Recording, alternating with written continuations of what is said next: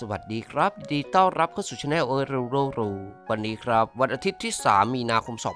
2567 มาพบกันอีกครั้งนะครับสำหรับวอลเลย์บอลหญิงวีลีกญี่ปุ่นฤดูกาล 2023-2024 เราจะมาดูผลการแข่งขันของเมื่อวานนี้กันก่อนนะครับ โดยเมื่อวานนี้มีผลการแข่งขันทั้งหมด 2 คู่ด้วยกัน คู่แรกเป็นผลการแข่งขันในรอบจัดอันดับ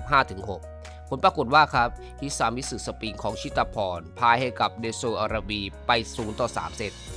19 ต่อ 25 25 ต่อ 25 และ 22 ต่อ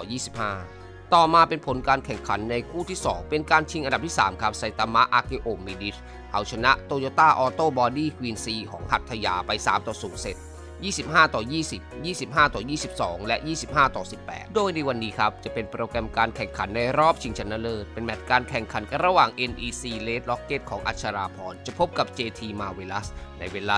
12.00 น ตามเวลาประเทศไทย สำหรับลิงก์รับชมการถ่ายทอดสดทางช่องได้นำลิงก์การถ่ายทอดสดไว้ใต้คลิปนี้เหมือนเดิมนะครับสำหรับเพื่อนๆที่ยังเข้าลิงก์กันไม่เป็น ทางด้านท้ายคลิปนี้ก็จะมีคำแนะนำวิธีการเข้าลิงก์ให้ทำตามนะครับ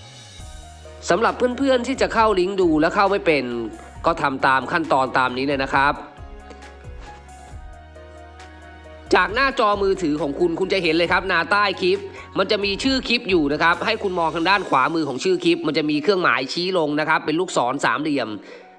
ผมวงกลมสีแดงไว้ให้เห็นไหมครับ ให้คุณเอานิ้วแตะไปตรงสามเหลี่ยมที่ผมวงสีแดงไว้ให้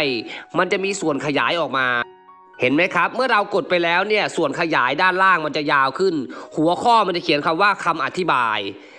ให้คุณมองลงมาด้านล่างครับ คุณจะเห็นตัวหนังสือสีน้ำเงิน เป็นชื่อลิงก์อยู่ อันนี้มันจะตัวเล็ก เดี๋ยวผมจะขยายเข้าไปให้ดูนะครับ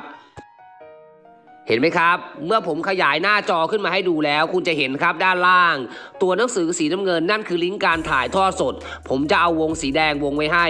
คุณก็เพียงเอานิ้วไปแตะตัวหนังสือสีน้ำเงินนั้น เลือกสักลิงก์ใดลิงก์หนึ่งถ้ามันมีลิงก์เดียวก็อันนี้ก็มีลิงก์เดียวคุณก็เลือกอันเดียว ถ้ามีหลายลิงก์คุณก็เลือกลิงก์ใดลิงก์หนึ่งนะครับเสร็จเรียบร้อยแล้วมันจะพาคุณเข้าไปสู่การถ่ายทอดสดนะครับ